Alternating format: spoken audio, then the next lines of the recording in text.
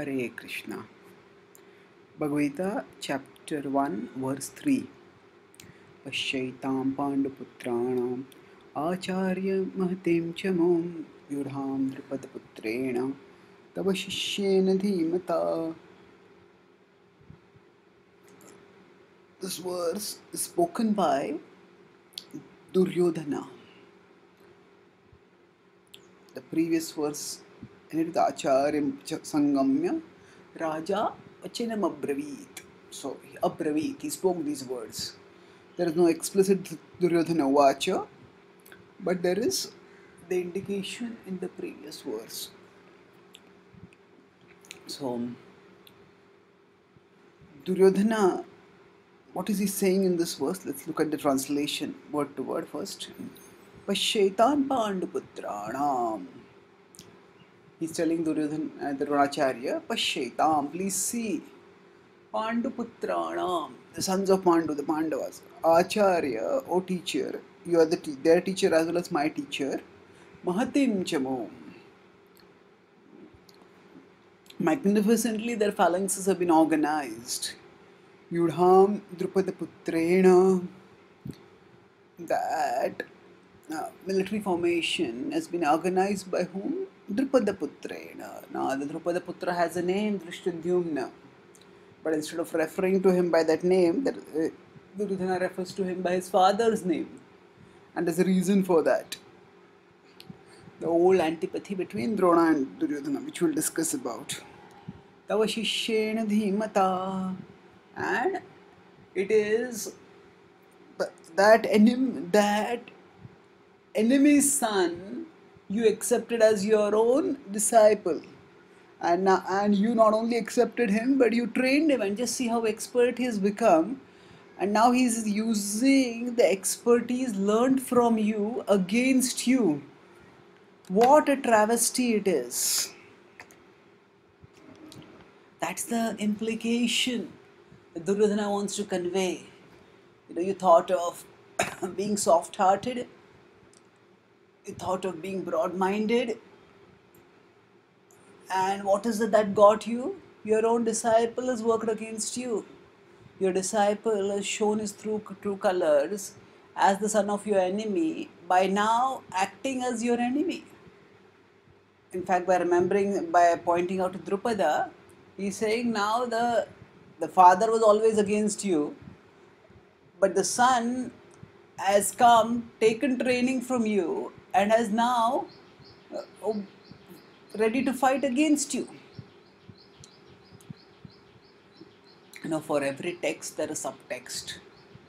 Text is what is directly conveyed, directly stated, and subtext is what is conveyed, either by the choice of words or by the context in which the words are spoken or the tone with which the words are spoken. So the subtext is often what conveys emotions. So Duryodhana wants to seal the commitment of Drona to his side and to invoke the fire of anger in Drona by which the dampener of affection towards the Pandavas that might be there in the heart of Drona will be subdued, will be countered.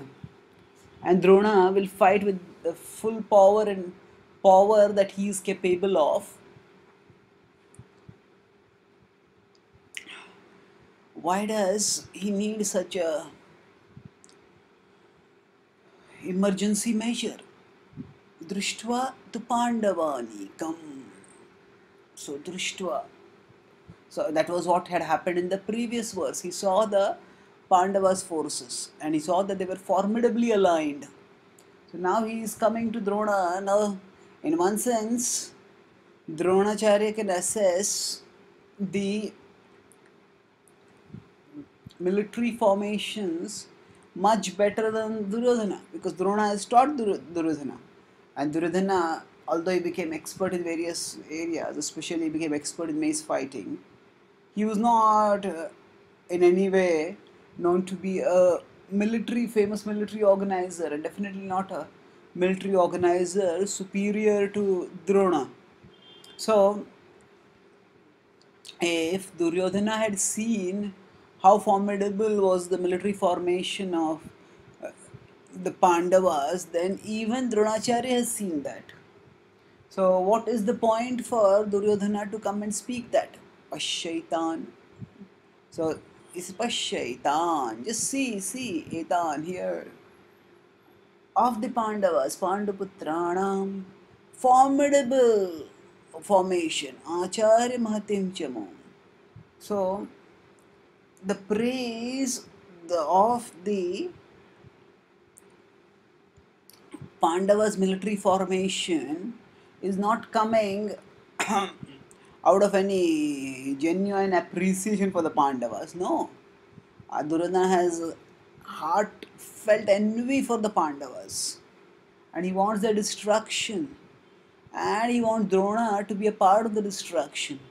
So he is referring to the military formation which both have seen just to draw home his point of inciting the anger of Drona.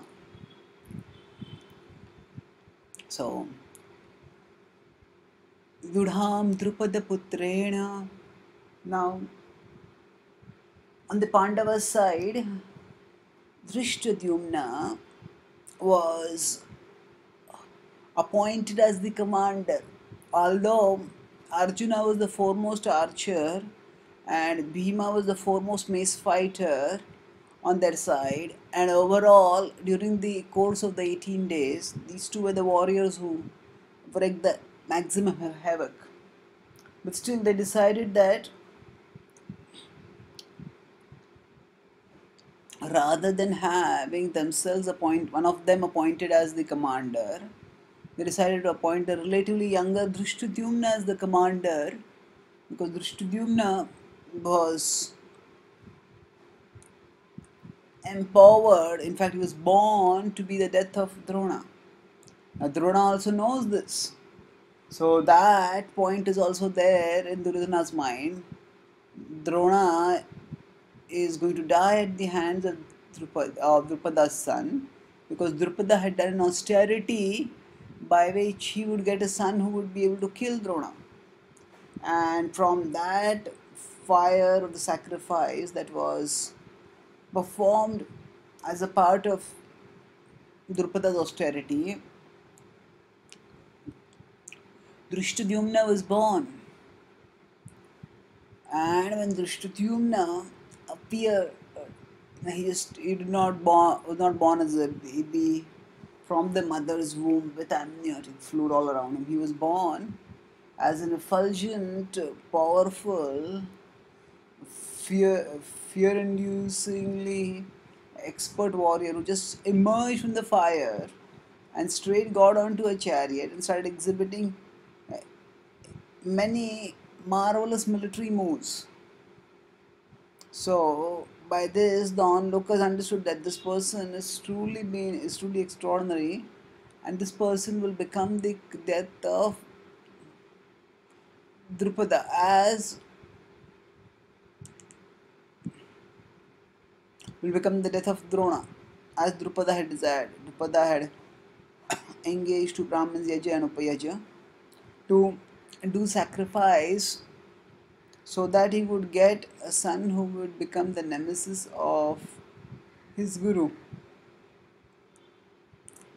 Now, sometimes Dronacharya is equated as the guru of the Pandavas.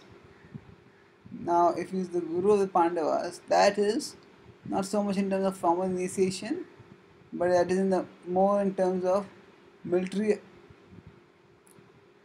guidance.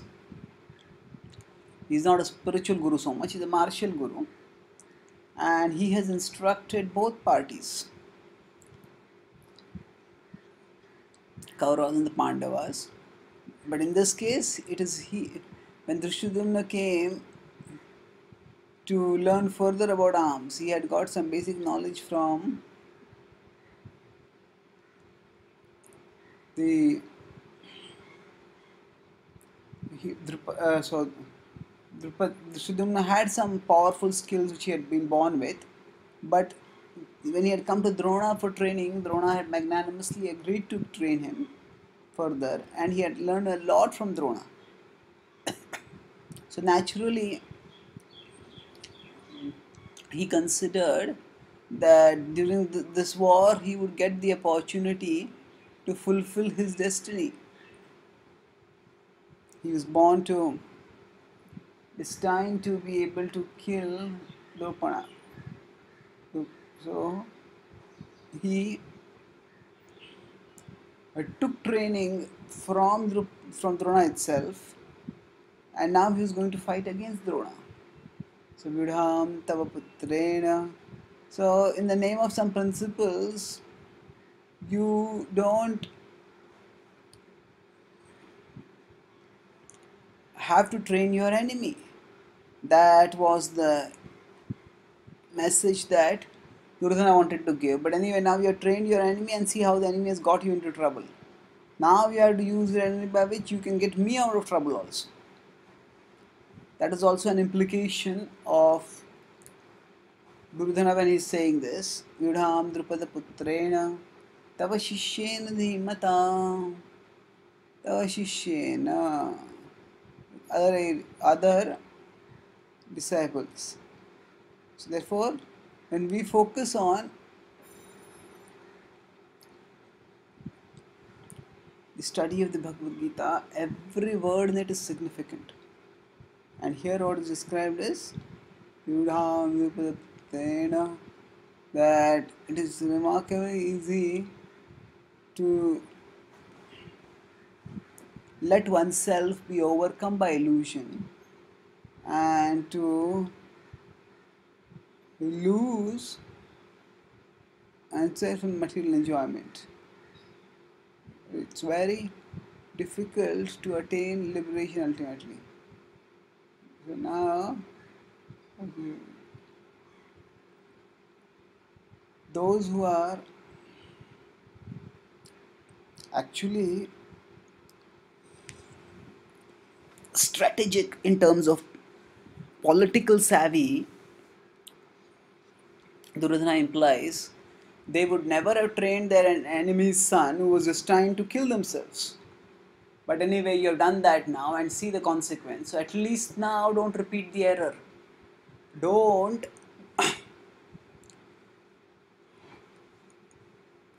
give up safety in the name of some sentimentality. As Duryodhana considers principles, the principle that a teacher should teach knowledge to whoever comes if that person is qualified. So he doesn't consider that that sort of noble teacher sentiment to be of any value. He says safety first. If that person is going to kill you, why did you teach him? So anyway, you taught him. Now, don't let any sentiment come in the way. Now you must fight wholeheartedly, fight fiercely. So that is the implication. Now, this is like pointing out a sore spot for a person and rubbing in the salt over there, rubbing in the wound over there. It is a little uh, too harsh thing to do, but by doing that, now he's, Duryodhana is speaking politely. But by doing this, essentially, he's ensuring, he's trying to ensure that Drona abandons any thoughts of Uh, keeping a soft spot for the Pandavas while fighting on the war and fights wholeheartedly. So, therefore, there is Drupada Putrena. So, your Drupada Putrena is, Drupada is your enemy, so it's your enemy's son, and now he is fighting against you, and moreover, he is what is implied in second line is that he is, of course, destined to kill you. So, now is not the time for any sentimentality. Now, just focus on safety and success. So, fight, oh Drona. That's what he's saying. So, after seeing when somebody sees that the enemy is very strong and well prepared, then what does one do? One ensures that one's, one's own party is also strong and well prepared. So he's saying one part of preparation is emotional preparation, where one commits to the war.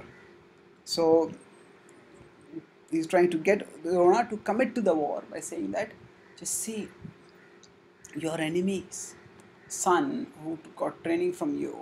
Like almost like saying that he has defected against you. Of course, not exactly like that, because Drishtadyumna had never committed that he will serve Drona lifelong.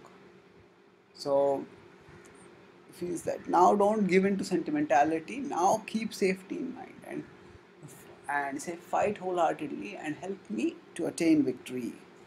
This is the subtext.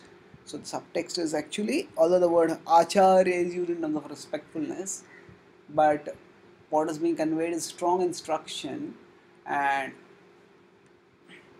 he wants to get Drona to fight wholeheartedly, fight fiercely, fight ferociously.